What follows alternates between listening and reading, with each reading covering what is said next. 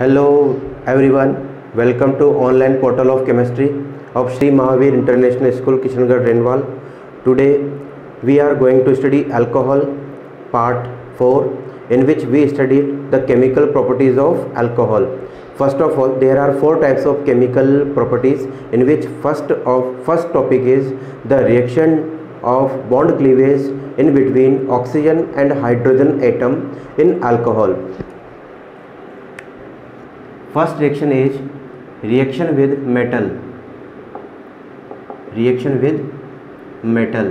बच्चों जो पहली रिएक्शन है उसके अंदर हम अल्कोहल की जो रिएक्शन करने वाले हैं वो किससे रिएक्शन करने वाले हैं मेटल से इसकी रिएक्शन करने वाले हैं आप ध्यान से देखेंगे आपने कोई अल्कोहल लिया और इस अल्कोहल की रिएक्शन आपने सोडियम मेटल के साथ करवाई बैलेंस करने के लिए हम इसको टू से मल्टीप्लाई कर लेते हैं then we obtain two R O N A and hydrogen gas is liberated out this is a salt which is known as sodium alkoxide which is known as sodium alkoxide if example ले लेते हैं हम लोग अगर हमने alcohol की form में लिया हुआ है एथेनॉल इसकी रिएक्शन हम सोडियम मेटल से करवा देते हैं तो हमें क्या मिल जाएगा ये हाइड्रोजन एटम इसमें से निकल जाएगा तो हमें मिल जाएगा टू से मल्टीप्लाई करना होगा तो two C two H five O N A plus hydrogen gas ये जो सोल्ट मिला इसका नाम है सोडियम एथोक्साइड सोडियम एथोक्साइड अब इसका नाम कैसे आया आप लोग जानते हो कि एन का नाम क्या होता है सोडियम हाइड्रो और ऑक्सीजन का ये क्या है बेस है तो sodium hydroxide hydrogen plus oxygen is equal to hydroxide sodium hydroxide उसी तरीके से इस एच को हटाया और हमने जोड़ दिया सी टू एच फाइव तो इसका नाम क्या हो जाएगा सोडियम ये एथिल ग्रुप है और ये ऑक्साइड है तो पूरा नाम क्या हो गया सोडियम इथोक्साइड तो इस तरीके से हम इस सॉल्ट को लिख लेंगे आपके पास एक और एग्जाम्पल है अगर हम यहाँ पर फिनॉल मोलिक्यूल ले लें और इसको ए के साथ मल्टीप्लाई किया जाए तो हमें क्या मिल जाएगा two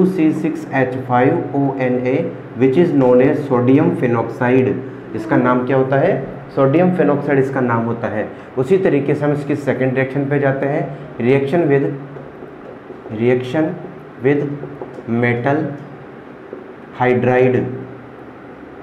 metal hydride हम लोग मेटल हाइड्राइड के रूप में क्या ले रहे हैं सोडियम हाइड्राइड ले रहे हैं आपने एल्कोहल लिया सपोज हम एल्कोहल को रिप्रेजेंट किससे करते हैं आर ओ एच से हम इसकी रिएक्शन करवा रहे हैं एन ए एच के साथ में रिएक्शन में हमें इस बॉन्ड को ब्रेक करना है इस बॉन्ड को ब्रेक करना है एक हाइड्रोजन एटम ये रहा दूसरा हाइड्रोजन एटम ये रहा हम इसको मिला देंगे तो इस एन को इसके साथ लिख लिया जाएगा तो हमें मिल जाएगा R O N A which is also sodium alkoxide and hydrogen gas is liberated out ठीक है बच्चों ये हमारी सेकेंड रिएक्शन हो गई उसके बाद में हम इसके थर्ड रिएक्शन की ओर चलते हैं reaction with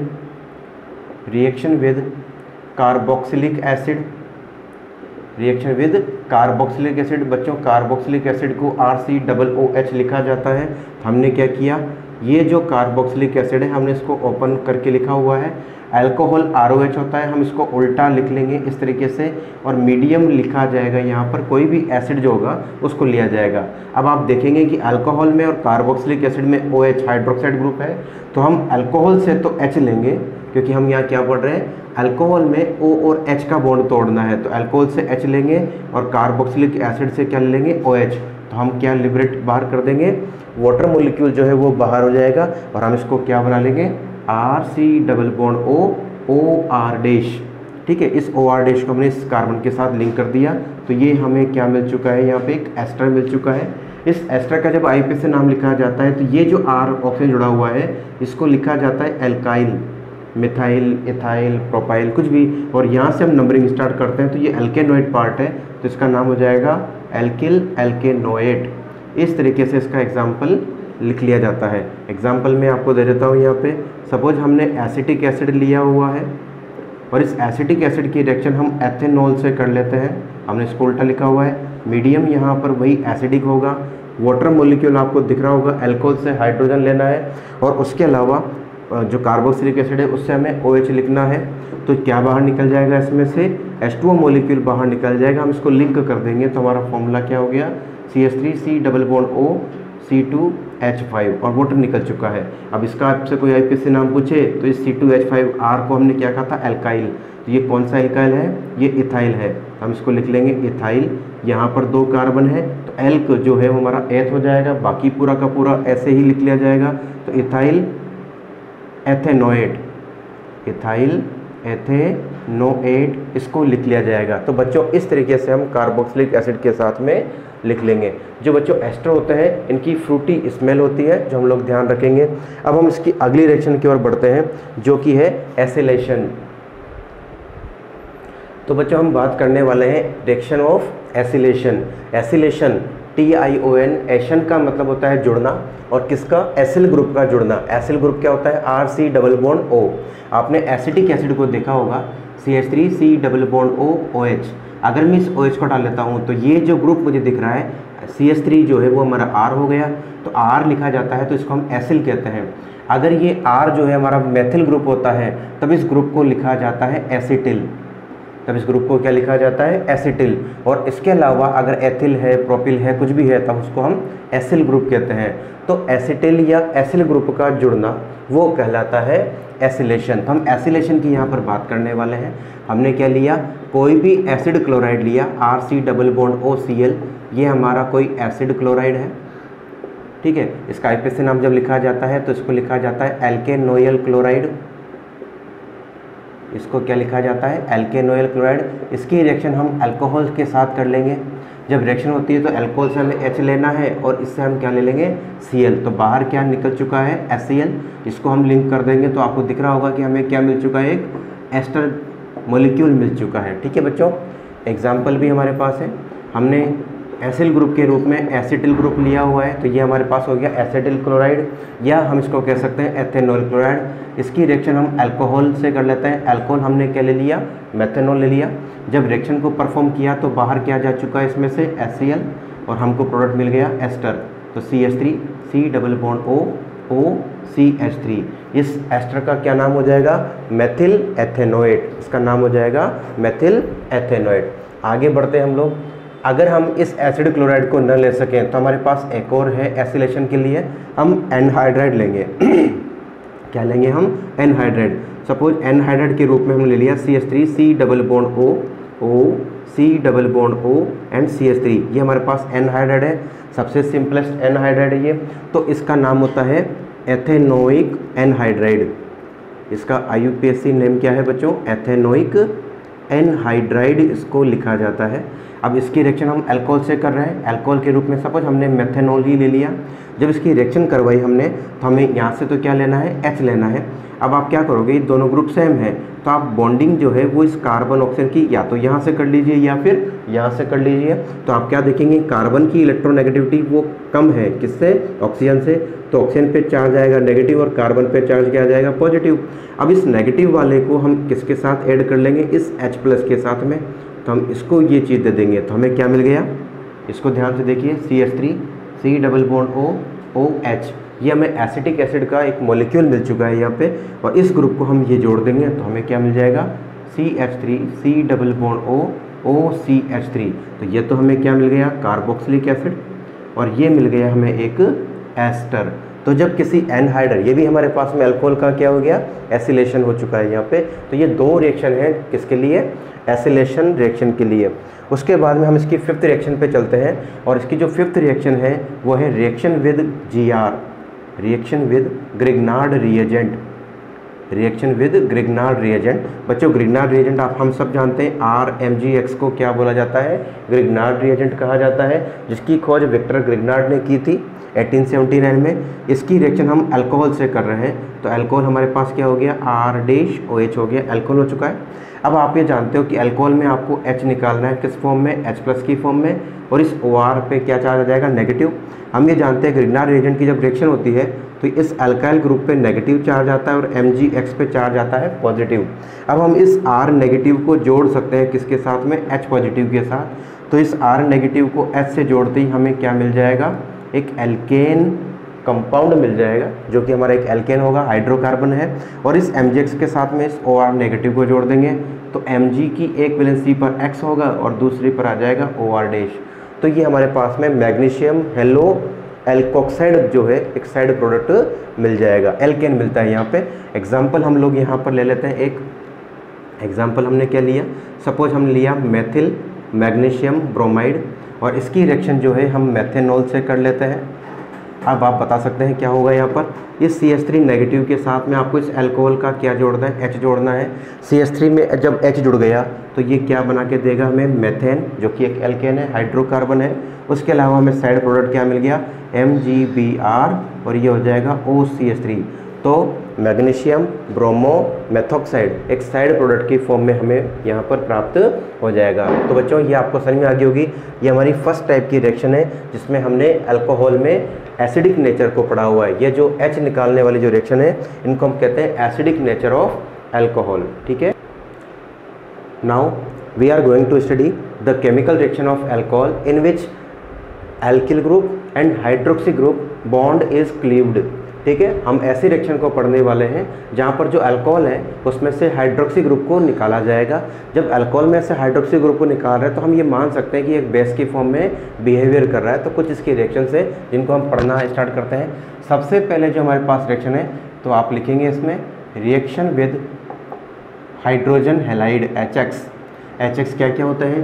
एच होता है एच होता है एच बी आर होगा और एच आई होगा तो सबसे पहला जो क्वेश्चन हमारे पास अराइज होता है वो ये होता है what is the reactivity order of hydrogen halide तो आप लिखेंगे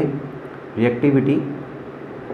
order of H X तो आप बता सकते हैं कि रिएक्टिविटी किसकी ज़्यादा होगी रिएक्टिविटी उस कंपाउंड की ज़्यादा होगी जहाँ पर इलेक्ट्रॉन नेगेटिविटी का डिफरेंस जो है वो ज़्यादा होगा इसका मतलब बॉन्ड कैसा होगा वीक होगा तो एच एफ की रिएक्टिविटी सबसे कम होगी थोड़ी ज़्यादा हो जाएगी एस की और ज़्यादा होगी एच की और सबसे ज़्यादा किसकी हो जाएगी एच की हो जाएगी therefore H I is a strong acid among these ठीक है आपको ये चीज़ ध्यान रखना है जब आप एच की रिएक्शन करोगे इसके साथ में तो आपके यहाँ पर जो एल्कोहल की रिएक्टिविटी है वह भी आप ध्यान रखना रिएक्टिविटी ऑर्डर ऑफ एल्कोहल तो रिएक्टिविटी ऑर्डर ऑफ एल्कोहल की जब आप बात करोगे तो three degree alcohol are more reactive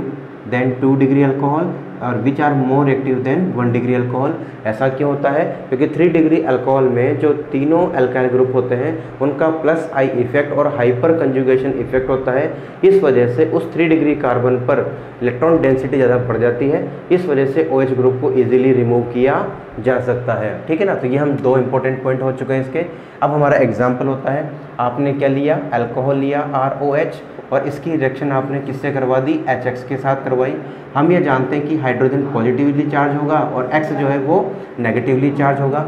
are O H को जब तोड़ा जाएगा तो आर पे पॉजिटिव होगा और ओ OH एच पे नेगेटिव हो जाएगा तो आप ये देख सकते हैं कि H पॉजिटिव इस OH नेगेटिव के साथ चला गया तो R के साथ हम किसको लिंक कर देंगे X को तो R X R X are known as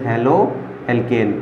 haloalkane बन जाएंगे और साथ में कौन सा मोलिक्यूल निकल जाएगा वाटर मोलिक्यूल निकल जाएगा एग्जाम्पल क्या ले लिया हमने C H three O H इसकी रिएक्शन सपोज हमने एस सी एल से कर दी तो आपका क्या बाहर निकल गया वाटर और हमें मिल जाएगा यहाँ पर C H three C L and water ठीक है ये हमारे पास पहले तरह की मेथड हो गई उसके बाद में सेकंड तरह की जो मेथड है उस पर आप फोकस करेंगे रिएक्शन विद मैं तीन रिएक्शन को एक साथ ही यहाँ बता रहा हूँ reaction with P C L three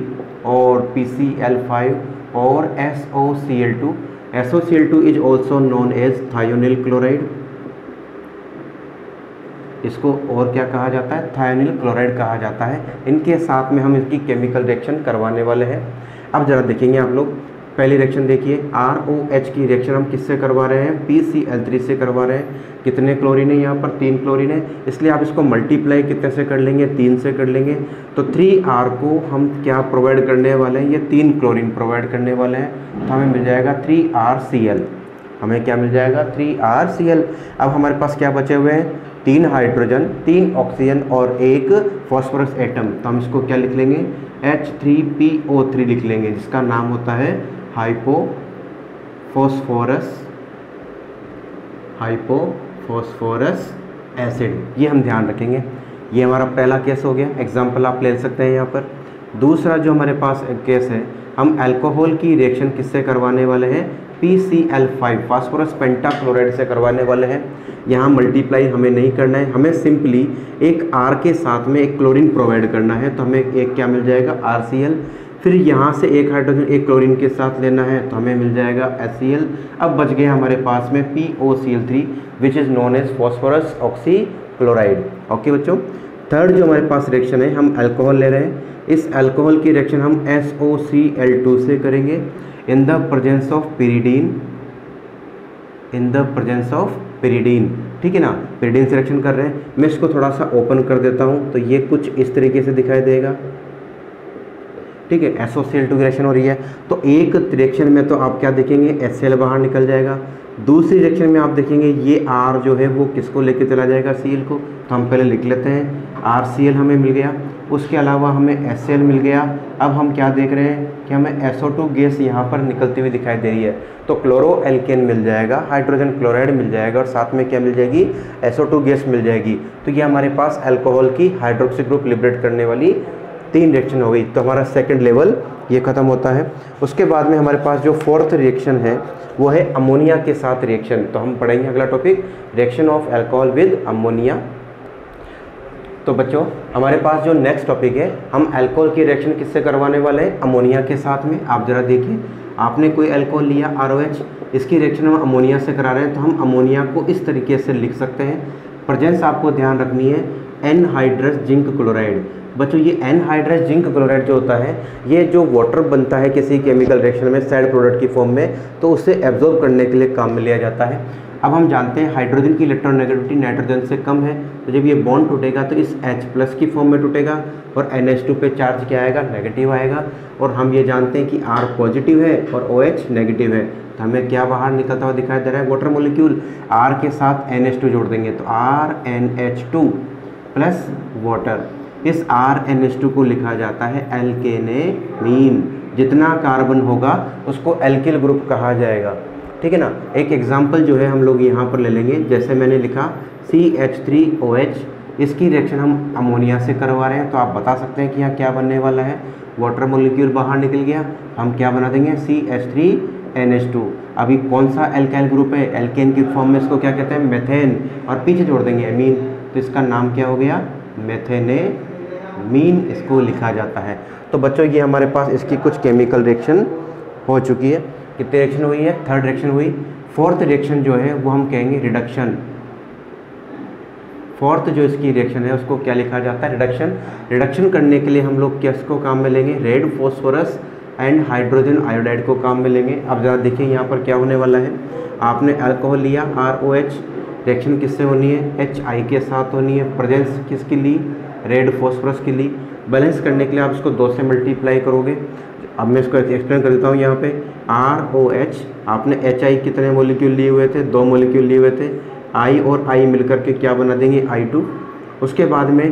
ये जो एच है ये ओ एच को लेकर के क्या बना देगा एच टू ओ बचे हुए रिमेनिंग एच को हम इस एल्कल ग्रुप को दे देंगे तो इसने आर एच से मिलकर के किसका फॉर्मेशन कर दिया alkane plus H two O plus I two iodine का फॉर्मेशन कर दिया तो बच्चों इस तरीके से हम लोग इसको बना लेते हैं अब इसका एक एग्जाम्पल आप लोग कर लेंगे सपोज मैंने अल्कोहल के रूप में क्या दे दिया आपको मैंने दे दिया C H three C H two O H इसकी रिएक्शन आपको टू एच आई से करनी है और यहाँ पर प्रजेंस किसके लिए है रेड फॉस्फोरस की तो आप बताएंगे मुझे कि इसका प्रोडक्ट क्या बनेगा सेम इसी पैटर्न पे आपको एग्जांपल कंटिन्यू करना है ठीक है बच्चों तो ये हमारे सेकेंड लेवल जो इस करेक्शन का है वो यहाँ पर हो चुका है उसके बाद में हम आगे बढ़ते हैं इसके थर्ड लेवल पर थर्ड लेवल जो है now the very important part of alcohol chemical reaction now the third part of the chemical reaction of alcohol in which we studied the chemical reaction of alcohol due to alkyl group that is R and hydroxy group that is O H तो alcohol में जो ओ OH group होते हैं और जो अल्कैल group होते हैं इन दोनों की वजह से जो हमें केमिकल रिएक्शंस ऑब्जर्व होती हैं उन्हें कहा जाता है इस तरह की रिएक्शन उसमें सबसे पहला जो पॉइंट आ रहा है वो है रिएक्शन ड्यू किसकी वजह से कंसनट्रेट सल्फ्यूरिक एसिड से बच्चों ये काफ़ी इंपॉर्टेंट रिएक्शन है कई बार कॉम्पिटिटिव एग्जाम में और बोर्ड एग्जाम में पूछी जाती रही है तो आप इसको ध्यान से और बिल्कुल फोकसली इसको देखेंगे इसमें सबसे पहले जो केस वन है मैं उसके बारे में बात कर रहा हूँ केस वन दोनों ही रिएक्शन बहुत इंपॉर्टेंट है आपने अल्कोहल के रूप में लेना है ethanol C H three C H two O H ये हमारा एथेनॉल है रिएक्जेंट हमें क्या लेना है कंसनट्रेट सल्फ्यूरिक एसिड लेना है टेम्परेचर आप लोग याद रखेंगे 140 डिग्री सेंटीग्रेड जिसे हम 413 केल्विन के रूप में भी ले सकते हैं 413 केल्विन लिखा जाएगा आपको एग्ज़ाम में केवल ऐसा लिखा मिलेगा और यहाँ क्वेश्चन मार्क लगा करके उसका प्रोडक्ट पूछा जाएगा तो आप रेजेंट याद रखना कंसनट्रेट सल्फ्यूरिक एसिड होगा टेम्परेचर याद रखेंगे 140 डिग्री सेंटीग्रेड और 413 केल्विन जब रिएक्शन परफॉर्म होती है तो आपको याद रखना है कि इसे हमें डबल करना है तो आप इसके कितने मोल ले लेंगे आप इसके टू मोल्स ले लेंगे C S three C H two O H के टू मोल्स अब दोनों में ही ओ OH एच है एक में से आप हाइड्रोजन लिबरेट करेंगे और दूसरे में से आप ओ OH को लिबरेट कर देंगे तो इसमें से क्या चीज़ बाहर निकल गई बच्चों वाटर मोलिक्यूल बाहर निकल गया बाकी को आप ऐड कर देंगे तो आपको दिखेगा C2H5O C2H5 तो आप देख रहे हैं कि हमें यहाँ पर क्या मिल गया ईथर इसे कहा जाता है डाई एथिल ईथर इसका कॉमन नेम क्या है डाई एथिल ईथर है और इसको आई में क्या लिखा जाता है इसे लिखा जाता है एथोक्सी एथेन लिखाते हैं इसको बच्चों ठीक है और क्या बाहर निकल गया वाटर बाहर निकल गया एक वेरी इंपॉर्टेंट पार्ट है इसका जो केस टू है वो भी ऑल्सो वेरी इंपॉर्टेंट है दोनों ही पार्ट जो हैं काफ़ी ज़्यादा इंपॉर्टेंस रखते हैं कई बार बोर्ड एग्जाम में पूछे हुए हैं अब वापस हमें क्या लेना है एथेनॉल लेना है प्रजेंस जो है वो सेम है concentrate sulphuric acid but temperature जो है वो यहाँ पर क्या होगा अलग होगा 140 की जगह पर 170 डिग्री सेंटीग्रेड रखा जाएगा और 443 केल्विन इसको लिखा जाता है अब जब ये लिखा हुआ है तब आप उसको डबल नहीं करेंगे आप बस ये ध्यान रखेंगे मैं इसको रीअरेंज कर रहा हूँ तो मैंने इस ओ को सामने के बजाय नीचे लिख लिया it is our alpha carbon this is our beta carbon beta carbon के पास कितने हाइड्रोजन है मेरे पास में तीन हाइड्रोजन है इसको क्या मैं ऐसे लिख सकता हूँ क्या नो प्रॉब्लम जब रिएक्शन कंटिन्यू होती है तो अल्फ़ा से तो ओ OH और बीटा से क्या बाहर जाने वाला है एस मॉलिक्यूल मोलिक्यूल बाहर जाने वाला है तो एस को हम बाहर निकाल देंगे और इन दोनों सिग्मा बॉन्ड के जुड़ने से एक क्या बन जाता है पाई बॉन्ड बन जाता है तो हम इसको क्या लिख लेंगे C H two double bond C H two which is our ethene ethene is also known as ethylene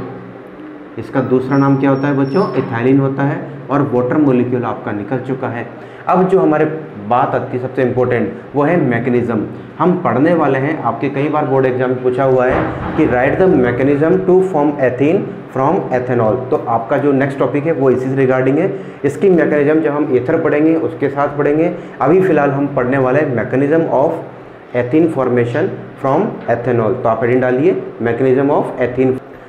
हाँ तो बच्चों अब हम पढ़ने वाले हैं एथीन फॉर्मेशन फ्रॉम एथेनॉल तो हमारा हेडिंग डल चुका है mechanism of ethene formation from ethanol